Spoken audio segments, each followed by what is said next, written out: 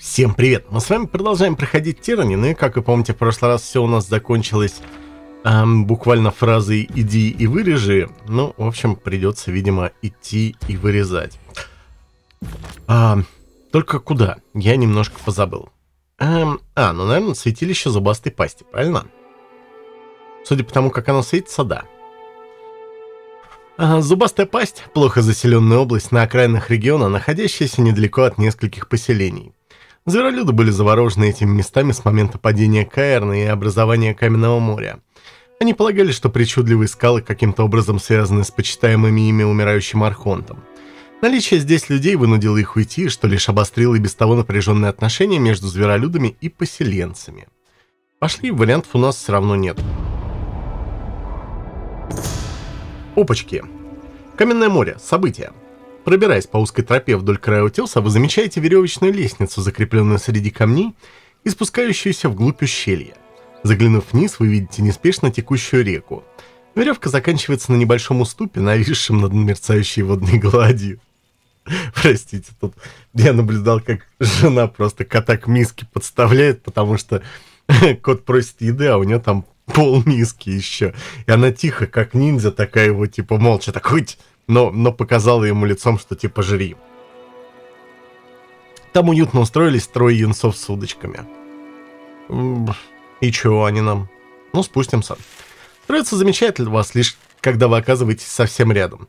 Они радостно машут вам и приглашают присоединиться, даже предлагают удочку и червяка.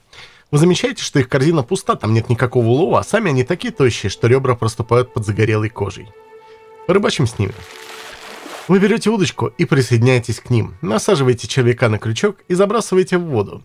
Приманку вы доводите до угревой норы и терпеливо ждете, пока добыча клюнет. Наконец вы ощущаете подергивание. Надо выждать, пока угорь заглотит червя, а потом резко дернуть, чтобы насадить его на крючок. Наконец вы вытягиваете скользкую тварь из воды. Юр... Юнцы радостно хлопают и подпрыгивают. Отдаем им угря. Вы укладываете добычу в корзину и высвобождаете крючок. Троица смотрит на вас широко распахнутыми глазами, когда вы выручаете корзину им. Вы подтверждаете, что они могут оставить рыбину себе. Они кидаются вас благодарить и даже обнимают в порыве чувств. Вы выбиваетесь, выбираетесь из ущелья обратно на тропу и продолжаете свое путешествие. О, они нас не очень любят, но что поделать. Видите, добрые дела нам тоже не чужды, ёк-макарёк. Отличное начало, да, казалось бы. Хорошо, наш Лё персонаж. А давай-ка ты, друг, на себя размаз накинешь. О, там еще, смотрите, уже очередь за нами. За нами уже очередь. А ты, друг, уже таунт. Нет, еще не таунт. Вот так вот, таунт. Так, а ты вот сюда. Давай, давай. Ну, ну, шайса есть. Так, ты вот сюда. Теперь э, давай техника горящих рук на вот эту задницу. А ты стой, наверное, на месте. Пусть они подойдут к нам. Во, потому что долбить их в узком месте, наверное, эффективная довольно-таки методика. Так, тут чувак загорелся, так что давайте все дружно фигачить вот эту вот дурень. Интересно, там зверолюдина сзади достает? Зверолюдина не достает. Можно, конечно, ей сделать вот этот фокус-покус. Ого! Дед там... Дед там зафигачил. Ну-ка. А давайте действительно... Ну, блин, тогда вот тот сагрится, я боюсь. Хотя, с другой стороны, мы приведем одного бойца в бой, и они. И процентное соотношение это изменится в нашу пользу в целом. Хм, наш что-то чувак прям расплав... расправляется с ними очень бодро, смотрите-ка.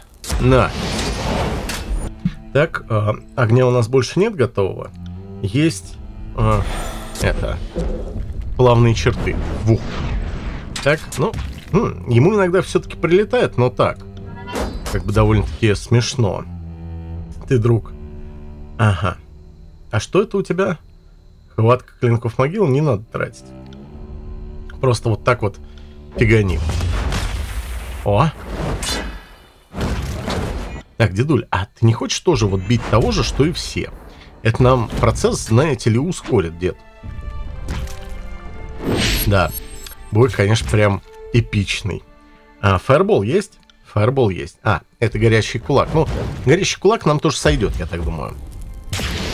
Вот. А теперь фаербол. Вот сюда. Да, потому что... Угу. Так, ты вот сюда. А наш чувак... О, мы же помним, да, наши еще после убийства врагов а, немножко отхиливаются. В общем, что и происходит. Я вспомнил это. Так, ну и двойной удар кулаками. Ходя!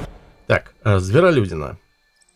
Э, так, у вас был вот этот, вот этот совместный. Нет, не совместный, но попугаем их немножко. А где совместный был? О, слушайте, а у нее же есть касание истощения, она может его кинуть. Да? Ну так, просто чтобы не стоять просто так вот там, да, как подонок бесполезный, а что-то типа сделать. Друг, а где ваш совместный удар? Нет? Где они тут? Комбо-удар где-то были. Во. Тыгын, тыгадын. Нет, небесный клинок, хватка клинков могилы, табун, во. Давайте табун зафигарим. А, чувак даже не реагирует. То есть мы с вами, в общем-то, зря опасались каких-либо последствий. Уф. Логан там, я смотрю, танкует и танкует. Вообще, чуваку пофиг, сколько его бьют. Двое, трое, пятьдесят. Опачки, у нашего героя новый уровень. И давайте он на себя это размаз снова кинет. Так, эм, огонек у тебя не отлип? О, огненный шар отлип. Давайте вот на этого товарища кинем. Друг, друже. Опа! Здравствуй. Ну, я думаю, наши сейчас присоединятся, просто я так что-то чувствую, что наше состояние размытости должен быть сильнее, чем они все на... У, нет, не так, чтобы... Отнюдь не. Нам немножко влетает. Но все-таки тут достойный противник, но он достойный в бою один на один. Я думаю, если мы а, толпой атакуем... Давайте-ка вот так. Хряп. Чё ты, Кен? Давай. Промахнулся, надо же. А вот так? Чуть долго наши ковыряют. Так, а... Теть. А, смотрите, у нее касание истощения все еще не установилось. Ну хорошо, будем кулаками. Хрясь. Во.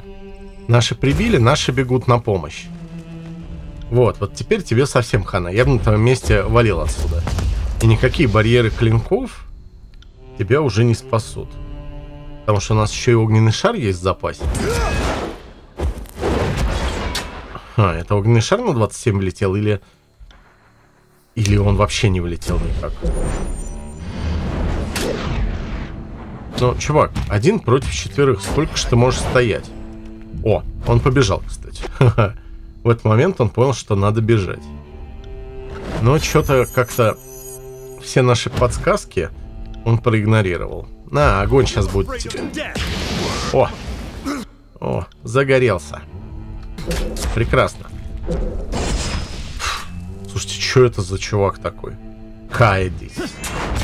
Каэдис. Наверняка мы могли бы с ним пообщаться, если бы мы до этого там вот это все не сделали. Ну, бывает.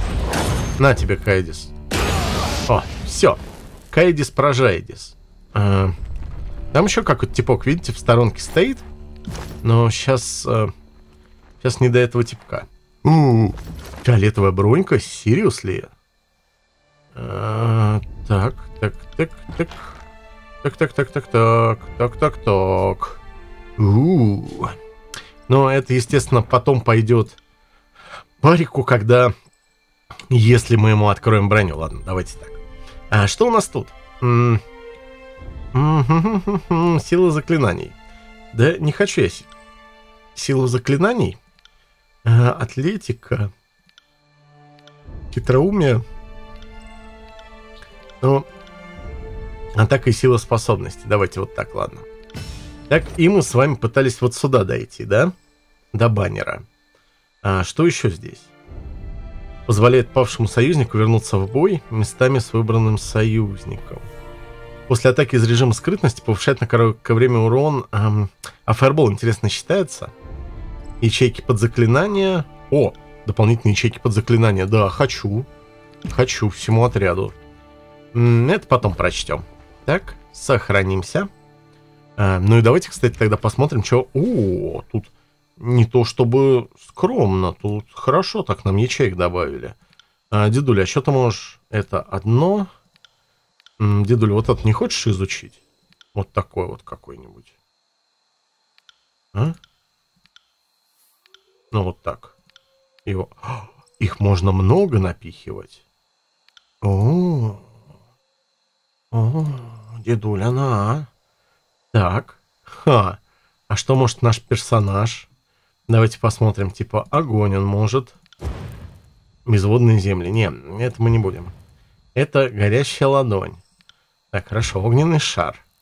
А, знание 30. Теперь цепь.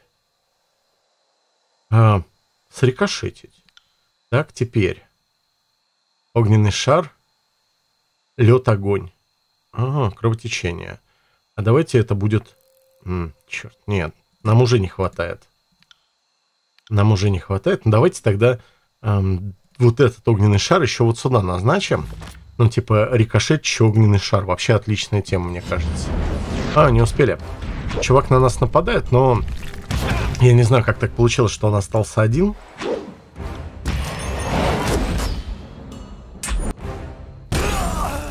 Поговорит с Алой Пасти в, стало, в старых стенах зияния. А, получается все, что ли? Вот, серьезно? У этого скалистого выступа магическая природа. Во время завоевания Каин странствовал по Каменному морю, и ходят слухи, что там, где он проходил, возникали подобные образования, хранящие отпечаток его сущности. Кладем руку на монумент, чтобы выучить символ заклинания камня. Ммм. Сейчас серьезно? Ух ты. Обращение в камень, каменный шип. Обращение в камень. Да еще и... А, да еще и длительный, да еще и кровоточащий, а, с ударной силой и... и с перезарядкой. Ну, дед, тебе. Ты у нас будешь каменюкой волшебным. Но вообще, конечно, блин, столько заклинаний, я вот думаю... Тебе посмотреть, а это все остальное возьмем. Кстати, что там за свиток был? Такое ощущение, что это был необычный свиток, да? Или нет? Он как-то был очень квестово свернут, вам не кажется? Угу. Чертеж щита. Ха. Ладно. А, посмотрим, что тут. М -м, жаль. Пробивание брони хорошее, но в остальном подкачал. Жизнь в каменном море сурова и беспощадна. Пустынные растения, вот, пожалуй, все, что может здесь уцелеть. Так. Здесь мы можем тоже перебраться. А вот тут у чувака что-то есть. Так, и тут есть дорожка, я думаю, все равно локация мелкая. Давайте тут осмотримся, ну, нормально, так, чтобы осмотреться. Может быть, сейчас на мосту к нам выйдет какой-нибудь хранитель моста и такой, какова длина полета чайки с кокосом? Мы такие, ага, ты имеешь в виду африканскую или западноевропейскую? И он такой, а, нет. Так, все, ну, тогда вот теперь можно и почитать э, вот эту штуку. Касательно вопроса о шпилях. Логан, помнишь ли ты свои тренировки с Бледным Марком? Свои я помню, это забавно. Нас разделяет почти столетие, но для Бледного Марка мы все дети. Теперь все прочие дети, сюда младше меня – и за свою жизнь мне всякого довелось повидать. Наверное, это и к лучшему, что во мне видят лишь безобидную старуху, которую смело можно списать в архив. Если бы Тунан присмотрелся ко мне внимательнее, боюсь, он заметил бы, что к преклонному возрасту во мне проявилась небрежность. Сейчас я нахожусь там, где я есть, отчасти потому, что, вам, что мне всегда наход... хотелось тишины и покоя, так когда как ты поступаешь ровно наоборот – какой-то мере от тебя это не зависело. Ты был избран для провозглашения диктов. Кайрос дважды. Отказ означал бы смерть, но согласие выдвинуло тебя на авансцену событий. Самое мощное оружие Кайрос не дикты, а ее способность подарить нам веревку, на которой мы сами же радостно и повесимся. Не забывай об этом. В твоем письме было много вопросов. Так какие ответы тебе нужны прежде всего? Если ты сузишь запрос, я постараюсь ответить так полно, как смогу. Вершительница судеб Мотис. Миотис. Мотис задать вопрос о шпилях. Дорогая Миотис, мне кажется разумным знать то, чем владеешь. И раз уж я стал хозяином горного шпиля, мне следует выяснить о нем все, что можно. Если бы ты поделилась со мной знаниями о шпилях, я был бы перед тобой в долгу. Начну с того, что я наблюдал до сих пор.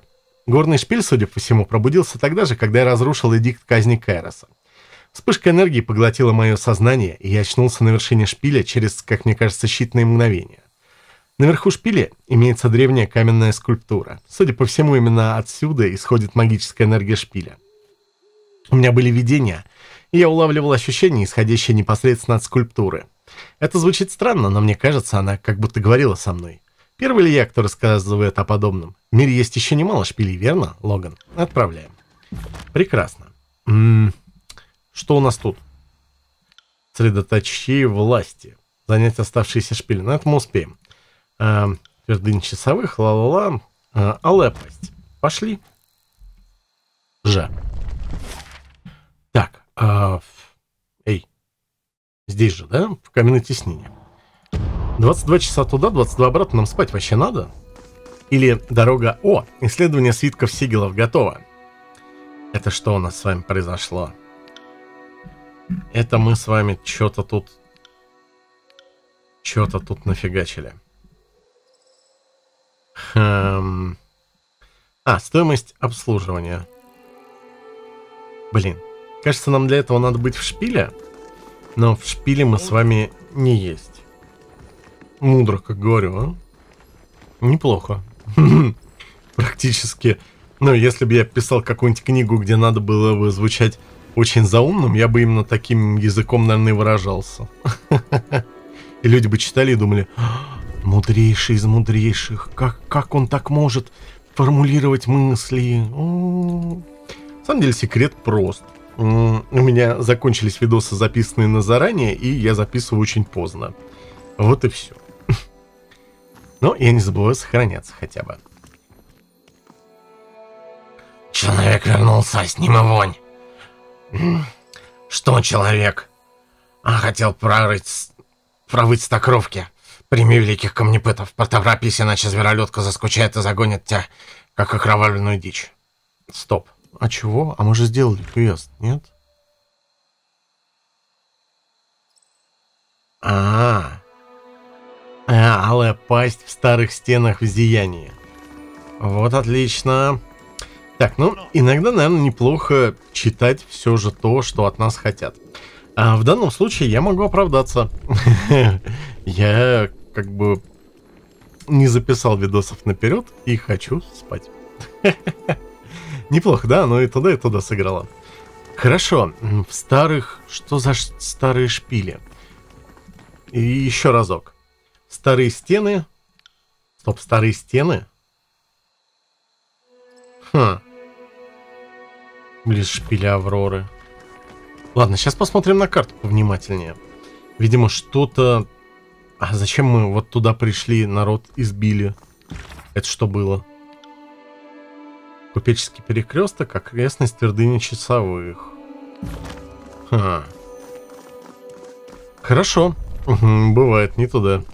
Так, а, шпиль Авроры. А, старые стены в зиянии. Во! Глубокие расщелины вдоль границ Каменного моря показывают, как далеко простираются последствия дикта камня. Зияние – наиболее известная часть этой границы. О нем знают из-за близости к шпилю Авроры, из-за обилия растущего на скалах лазури... лазурелита. Путешественники говорят, что когда солнце стоит в зените, можно видеть, как тысячи лазурелитов сияют, освещая самые глубины пропасти. С тех пор, как эта местность перешла под контроль зверолюдов, ее стараются избегать. Ну, пошли. Да, еще 21 час. Ну, все, все равно мы как-то мимо бы прошли, наверное. Внезапно налетевшая буря заставляет вас пути... Застает. И заставляет искать укрытие в дорожной гостинице под гигантским каменным навесом. Здесь собрались путешественники со всех ярусов. Они молча с опаской косятся друг на друга, пока, наконец, жидкая похлебка и разбавленный эль не развязывают им языки. Жилистая женщина с кожей цвета ночи ставит крупную тыкву-горлянку на камень у дальней стены пещеры. Она бросает вам вызов, предлагая сыграть в ножички.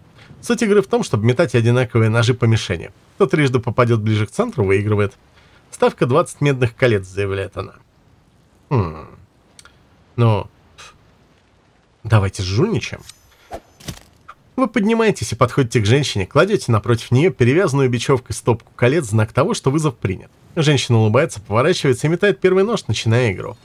На вид она неплохо управляется с метательными ножами, поэтому, когда она ненадолго отвлекается на звук упавшей глиняной кружки, вы незаметно перетыкаете один из своих кинжалов ближе к центру горлянки. Ваша ловкость рук не привлекает лишнего внимания. Закончив броски, женщина отдает вам кольца и предлагает угостить выпивкой. Хе-хе. Ну, видите, мы мало того, что хитрые, мы стали еще и более приятными им. Ого. Дратути. Пришли. -м. Ну, ладно. О нет, вершитель судеб, я исполнил свой долг, не тащи меня обратно. Кто ты? И почему ты думаешь, что я собираюсь тебя куда-то утащить? Он запинается на полушаге, споткнувшись на россыпи камней. Ты же сотрудник суда, да? Слушай, я знаю, что нарушаю порядок, работая со скаловержцами, но мы же не заключали никаких договоров, ничего такого. Клянусь, было просто рукопожатие, поверь мне, пожалуйста, тут опасно. Это зверолюды, они словно сбесились. Хотели убить меня вместе с этими проклятыми скаловержцами. Я не хочу умирать, позволь мне сбежать. Хм. Я вижу, что ты уже штаны обмочил. Давай беги, только сперва расскажи мне, что стряслось. Когда море раскололось, я решил, что смогу зарабатывать себе на жизнь, составляя карты. Я хорошо знаю здешние края, так что скаловержцы наняли меня сопровождать их. Они искали какие-то драгоценные камни. У камнепытов, похоже, было на этот счет другое мнение. Когда мы углубились на их территорию, они уже поджидали нас, охраняя камни. Один из зверолюдов бросился на скаловерса, и вот тогда я сбежал. Я исполнил свой долг, вершитель судеб. А на то, чтобы меня разорвали на куски, я не подписывался. «Вершитель судеб?» Скаловерс сбьет себя кулаком в грудь. «Приветствую вас». Он бросает короткий взгляд на Ликона, прежде чем начать говорить. «Не обращай внимания на этого труса и позволь, я введу тебя в курс дела, если, конечно, не собираешься устроить неприятности». «Ну, я, похоже, вам тут не нужен. Если хотите сцепиться со зверолюдами, это дело ваше, а я сваливаю». Да, но мы-то собирались э, сцепиться зв со зверолюдами в поцелуе. Опа. Опа-опа. Ладно, нам пришел ответ. Приветствую тебя, Логан. Ты прав. Шпили есть по всему Тератусу. Их местонахождение служит источником многих споров и спекуляций, но два факта общеизвестны. Почти все шпили, построенные рядом со старыми стенами, твой горный шпиль – любопытное исключение. И почти в каждой культуре, существовавшей до Кайрос, имеются мифы о строителях шпилей. По-моему, в Яросах поминают старые королевства, откуда были родом создатели шпилей и старых стен. Но доподлинно это никому не известно. И, разумеется, в цивилизованном обществе, созданном Кайрос, о таких вещах говорить не принято. Вот что, мне кажется, тебе надо знать. Во-первых, шпили действуют как магический магнит. Вокруг них всегда есть магическое поле. Представь магическое море над нашим миром. Шпили наматывают на себя и усиливают эту магию. Самое слабое заклинание, созданное там, не наделяется большой силой. Во-вторых, я бы сказала в главных. Кайрос запрещает заходить в старые стены, но такого закона в отношении шпилей нет. Из этого можно заключить, что Кайрос не возражает, чтобы люди интересовались шпилями, однако считает старые стены слишком опасными. Либо, будем мыслить как владыка, когда ты что-то запрещаешь, ты делаешь это вдвойне желанным, и мне кажется важным, что Кайрос запрещает доступ к путям, ведущим в шпиле, однако на самих шпилях она не рисует мишень. И, наконец, в молодости мне довелось заниматься делом человека, который возвел святилище. Кайрос, у основания шпиля, далеко на юго-востоке. Мне не удалось найти следов подделки или обмана, святилище было создано с почтением и любовью. Однако в какой-то момент этот человек заявил, что у него есть доказательства того, что Кайрос была здесь за полсотни лет до начала новой эры. И стоило ему произнести эти слова, как мой старший коллега-вершитель схватился за топор и снес ему голову с плеч. Я тогда была новичком в суде и ничего не сказала, но долго задавалась вопросом, почему за такое замечание он был казнен, а не лишился языка, как полагается по обычаю. Вершительница судеб Меотис. Ну, давайте спросим об эдиктах и так далее. Дорогая Меотис, Спасибо за проявленный интерес. У меня вопросов больше, чем чернил. Давай начнем с обсуждения эдиктов Кайроса. Я претерпевал, претерпевал, провозглашал и разрешал эдикты, а значит, знаю о них куда больше, чем обычный человек, но все же мне известно слишком мало, Логан. Прекрасно. Послание в пути. У вас тут что, клоуны? Ты очень вовремя. У нас тут назревает кровавая мочилова со зверолюдами. Мочилова? Она чешет, боку зевает. Камнепыты не мочат, камнепыты рвут на куски. Хорошо обученные солдаты могут дать фору зверолюдам. Это не мнение, а не приложный факт. Ваши блохастые бойцы не понимают ни что такое строй, ни что такое дисциплина. Мы не блохастые. И зверолюдки охотятся, устраивать цепи и колонны. Понимают, когда подчиняться, а когда упереться и укусить. Опальные живут, лишь потому что племена не охотятся на деток железа. Но скоро придет время пролить железную кровь. Все, что бы мы ни делали, приводит к насилию. И кого ты имеешь в виду, склавежцев или опальных? Поверь мне, вершитель судеб, если бы наша гильдия смогла получить искомое, не проливая крови, э, я бы с радостью прошел по этому пути, однако зверолюды не оставили нам выбора. Мы не торчали бы тут посредине Кэр знает чего, если бы это не было необходимо. Видишь ли, лаузеритовые жилы этого региона крайне важны. Это ведь они заставили Кайрна забыть про приказы и отправиться в Каменное море. Используя их рефракционные свойства, мы сможем усилить фазовое ускорение его оставшейся энергии. Мы наняли местного сборщика хлама, чтобы он показал нам, где больше всего кристальных жил. И он привел нас сюда. Сперва зверолюды показались нам сговорчивыми, но вскоре после начала раскопок они пришли в ярость. Мы, дескать, обворовываем их предков или какой-то такой бред. Среди них есть некая лопасть, у них, она у них что-то вроде предводительницы. Но нас скрылась в шпиле, прежде чем я смог воззвать к ее разуму. Теперь мы готовы сцепиться друг к другу в глотке, и я, честно говоря, не знаю, что делать дальше. Ммм. Я уже имел дело с местными зверолюдами. Ничего не делай, пока я с ними не поговорю. Великолепный вершитель судеб, поторопись, если сможешь. Племена не славятся своим терпением. Я хотел бы избежать кровопролития.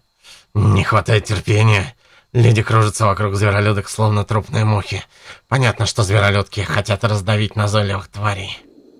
Ну, как, как она по-доброму это все отметила. Хорошо. Хотя вот тут они совсем вполне нормально вроде как общаются. Ой, их тут так много, надо было перебить. Эх, если бы я знал, что их настолько дофига тут. Да, тут это... Они прям такие... Эть, эть. Типа такие, давай, чувак, прибей нас. Прибей нас, чуви. Получи экспу. И наслаждение. Но это как бы совсем уже, да? С, ну, психопатия какая-то. Так. Тут... О. Ну, в общем, мы хотели вот этот э, рюкзачок обыскать. О, шит. Бронзовый метательный кинжал. М -м, так себе, конечно, хабар, но лучше, чем ничего. Как всегда, все у нас. У нас все лучше, чем ничего. О, топорик. Давайте на всякий... Ага, он двуручный. М тогда вот так. Так. Что-то здесь все трясется и... Эй. Прям это, они нас встречали тут, смотрите-ка. Вот тут еще что-то есть. Но мне лень сейчас спускаться за этим.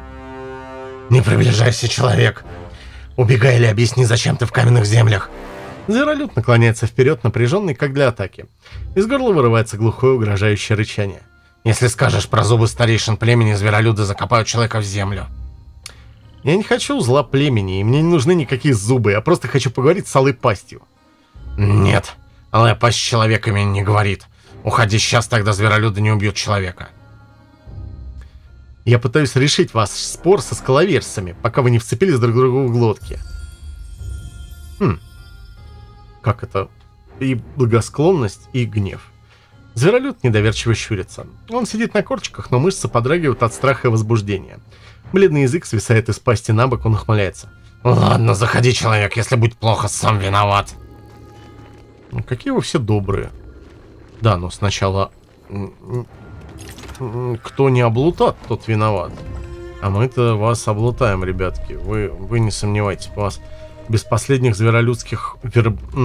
Как это? без последних зверолюдских образных штанов оставим. Вот. Оп. Опачки. И еще ништячок. А, что ж, кажется, мы с вами подошли к тому моменту, когда...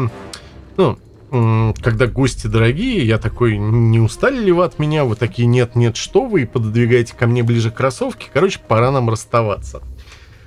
Посему спасибо Мише Лебедеву, Мише Фомину, Андрею Фиолетову, Евгению Глебову, Дахармсу, Алексею Смирнову, Просто Эду, Сергею Кайну, Роки Бальбо, Антону Церу, Барату Манзосе, Серджати, Радору, Эфесту, КДВ-45 Рус и Дарье Кравчук за то, что те продолжают поддерживать канал. Всем вам огромное спасибо, что проходите игру вместе со мной. Ну и до встречи завтра. А пока на этом все. Всем удачи, счастливо. До встречи. Пока-пока.